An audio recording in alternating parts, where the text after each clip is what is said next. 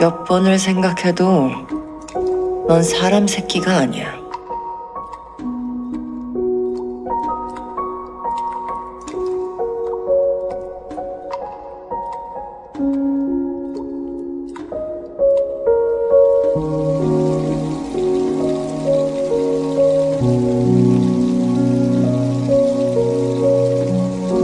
내가 얼마나 선배를 사랑하는데 사랑하는 사람이잖아.